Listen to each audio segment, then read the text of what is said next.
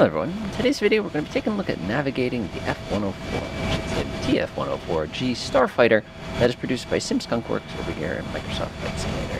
Now the good news is uh, the Flight Simulator, as far as complexity goes with navigation, not too bad. I don't think you'll find too many surprises in it. There is a little bit of homework involved depending on what type of navigation you're doing, but other than that, it's pretty straightforward. Let's go ahead and get started. So first things first, uh, navigating this aircraft. Uh, one thing that you want to remember, like we saw in the last video, is to make sure your magnetic variation has been set correctly prior to doing anything crazy with your flight here. Uh, next thing you want to do is you want to decide what type of navigation you're actually going to be operating with. Uh, we have two basic versions other than doing any sort of visual slash dead reckoning navigation. The first method we have is with tactical air navigation. That's a TACAN. Uh, TACAN is actually really, really easy to use. Uh, basically, you dial it in, it points where you need to go, and that's it. The second method is with a little more complicated thing. You know, we have an inertial navigation system built into this aircraft, which is actually parked over here on the right. Now, the way this one works is a little more involved, and we'll actually show you exactly how to do that. But let's go ahead and take a look at the TACAN navigation first. So how do we do TACAN? Well, it's the same thing as VOR, just uses a different way to describe the individual frequencies. So what I'm going to do real quickly is we'll go ahead and call ourselves up a nice little map of the region that we're currently flying over so that you can go ahead and see exactly what it's going to be like. So I'll go ahead and pop on my desktop view again real quick so you can see this. Uh, we are very, very close to Air Force Base. Let's go ahead and cruise over there real quickly. Let's see here. Do, do, do, Las Vegas. What do we got for TACAN navigation here? Let's see here. We have a VOR frequency. What's the VOR frequency? Let's take a look. Take a look. It's going to be right here. Good Springs is channel 57. That doesn't do us any good at all. Here we are, 116.7. So that tells us what our frequency is going to be. So once we know the VOR frequency, what we can do is we can actually grab this little application here and we can see exactly what it is. So in this case, we're looking for, like I said, uh, 116.7, 116.7. 116.7, 116.7 is going to be 114 X-ray.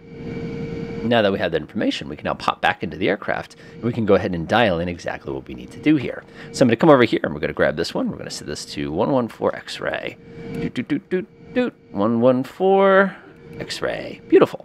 Now that we've done that, all we're going to do is we're going to make sure it's turned on. That's important. And then what we're going to do is we're going to grab the PHI mode and we're going to pop it to TCN. So now what it's going to do is you'll notice that it'll actually tell us how far away we are from the TACAN here, and it's going to give us a line which is going to tell us where we need to go in order to get to this particular position. So if I want to fly over that VOR, for example, let's go ahead and turn myself over here. This aircraft is not really known for its turn performance. It is a much, much, much better of an interceptor than it would ever be a uh, turning fighter, that's for sure.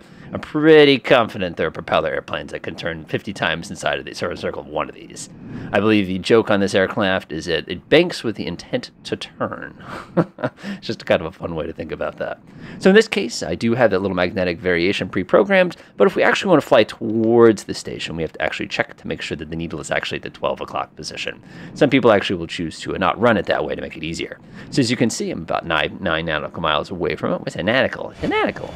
Like my cars in the yard. So the we have a couple different uh, nautical miles on our way here. We're going to be crossing. That's eight. Again, we're already doing 400 knots, which is way past the speed limit, but you all can feel. We're going to cruise nice and smoothly over this uh, nice little development. A little golf course down there as well.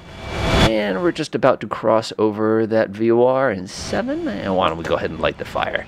What's the worst that's going to happen? We're going to get a noise complaint. These guys have to put up with this all the time.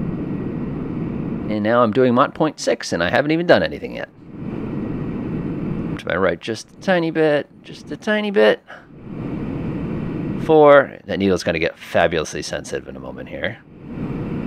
We can actually pull like a 6G turn right now. We've got enough energy. And two. We're going to fly right over the top of that VOR station here if we got close enough to it. And two. Looking for it. Sharp eyes, folks. Sharp eyes. Can you spot it? It's probably going to be at the top of this mountain or something like that. And it should be right there. There it is. so the fun part now is we get back inside the aircraft, the needle goes bring and basically flips around. And that's how you do the tactical air navigation. There's really not a lot to it. All you do is get the correct frequency, dial it in, uh, double check to make sure it's set correctly, make sure it's turned on, and the aircraft should get you going around real nice. So now where it gets a little more complicated is when you're going to do what they call the PHI navigation or the inertial navigation. Now the way you have to do this is actually two parts. You have to first identify where you're going, and then second of all, you have to dial it in. So that requires a lot of kind of fancy math for us. So we're going to have to get a couple different tools available to us to be able to pull this one off. Me go ahead and knock a little bit of the bank out of this thing. By the time I finish this banking turn, I'm going to be in the next state. it's something I would do. All right, let's go ahead and pop this sucker open, and I'll kind of do it to it. We'll flip over to desktop mode so you folks can see.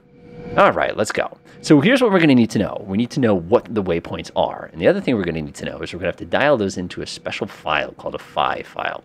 So if I actually open up my this PC real quick, cruise over to my uh, personal drives here, Microsoft Flight Simulator, packages, community. Of course, you notice the airplane is just going in a giant circle there. I'll Give it a little gentle touch. Sim Skunk Works. We're going to go into the data folder, and you can see that there's these things called PHI files. There's just one called default. I'm just going to go ahead and type in Notepad. I'm going to drag it into the notepad, and this is what the file itself looks like. So how does this work? Well, it's pretty easy. You simply go ahead and dial in what it's called, and then you're going to do its latitude and longitude in decimal formats. That makes things a little bit more tricky for us. You want to kind of be careful with that. So I'm going to go and drag this. Oh, we're going over a bump or something. I'm getting a little bouncy out there. All right, let's say we wanted to go up to one of our buddy airports here. Let's say we want to go up to, uh, what is this, uh, Indian Springs. That's not too, too bad of a choice there.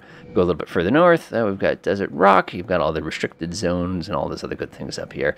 Well, we'll do Indian Springs. Why not? I'm sorry, Creech Air Force Base. I was going to say, that was not that one. So click on that. We get ourselves some decimal coordinates here. Unfortunately, those coordinates are not in a format that we can use directly. So we're actually going to have to convert these. So I'm going to go ahead and grab these.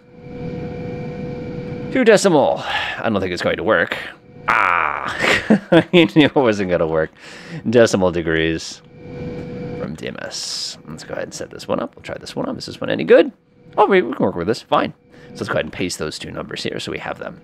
So we are dealing with latitude that's going to be north. We're going to be 36. Uh, let's see, 36, 35.04. And on this side, we're looking at 115. Remember, that's going to be negative 115. We're going to do 40 and we're going to do 0.454. As a matter of fact, that's not going to work. Oh, fine, works. I'll take it. So now we're just going to paste in these new values. Come over here, go ahead and paste these two new values in. I'm just going to rename this. Creech AFB. One thing you do want to do is you want to make sure the altitude is set correctly here. So the altitude for Creech Air Force Base, uh, just taking a look at it real quick. You're going to give us this information, or do I have to like extract it from you? 3134. 31, whoop, 3134. Perfect. File, save. And that's it. So now what we're going to do is we're going to load it into our inertial navigation computer here. So let's go ahead and grab our external tool here. I told you this is going to be fun. Let's go ahead and click right here, defective. Uh, select the route. That sounds good to me. We're going to pick the one that we just created, and that's it. It's now loaded into the computer. So let's go ahead and jump back into the simulator. We'll go ahead and disable some of these things that I've got going all at once here. Nice. So we pop back into the simulator. Now we just have to switch on the inertial mode. Uh, first things first, you want to make sure this thing is turned on, which it is. It's on nav mode. We know that the compass is all preset. So what we're going to do is we're going to click, click, into IN mode. Uh, normally we could do is with DR. We're not doing any direction finders, so I'm not going to worry about that too, too much here. So what we need to do is we need to select the waypoint that we want to fly towards. So to do that, we reach back here, and there's this little thing that says active waypoint. So if I snap that to active waypoint 1, you'll notice immediately we've got a new needle that tells us what direction we need to go to get to that waypoint, and it also goes ahead and gives us a distance. So I'm going to go kick the burners on again here. Again, this thing is not exactly uh, famous for its turning radius, as I've stated before, and we're simply going to do a big old donut. Oh boy. this thing is uh, quite big. Kind of reminds me of a Phantom, not to lie. All right, and now we know that our waypoint that we're traveling to is going to be right off of our nose. Bring that nose down just a tiny bit, kind of point in that direction, and we know our destination is right there in that direction. So this is a super cool system because as you probably noticed from that file we were just editing a few moments ago, you can actually change, um, have multiple waypoints. So for example, if you wanted one waypoint to be here, one waypoint to be there, and you want to kind of do stuff in between, you could. Now there's another method you can navigate with this aircraft too if you're looking for a slightly different technique, and that's using some sort of external navigation tool. Now my choice for this is the GTN 750. Uh, this is a neat free add-on. If I pop over over the map real quickly, you can immediately see that there's absolutely no navigational data stored in here in any place at all. But there's nothing in the world stopping me from popping in here, saying direct to, you know, switching this to uh, the different mode or something. Hit the CDI button. Nothing's going to change. Like, don't panic about that. That won't break anything if you do hit CDI. Although I'm not not going to lie, I'm kind of tempted. If I press CDI now, is that going to break it? Aw, it's not going to break it. Oh well, that would have been fun if it did. But now what you can do is you can come in here, you can, you, can hit your direct to button and all that stuff and dial it in and file it. Basically with the magenta line of safety is how my buddy would always call it. Go ahead and close that sucker out you guys can see how that works perfectly fine. Again, use the navigation technique that works fine. The inertial navigation system is definitely traditional and I'm about to break the speed of sound and I am way under the break the speed of sound rule here as far as altitude goes. But hey, uh, it doesn't matter. how you doing down there? He's looking at me going, um, did he just pass me? Now, I'm curious to see if we can get this thing going fast enough that the warning light will come on. The warning light, my favorite warning light of any airplane. I love that as a little slow. And looking right off my nose, I can see that my destination, which was Creech Air Force Base, is just sitting there waiting for me, ready to go. So you can see that the navigation system works well.